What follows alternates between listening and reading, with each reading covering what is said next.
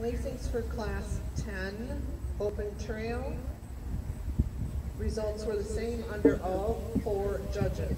First place goes to 565, Charlotte Schavinger, showing My Kind of Ride. Second place, 427, Dawn Aguilar, showing Harley's Only Appointment. Third place goes to 406, VR Timeless Gem, shown by Samantha Lewis.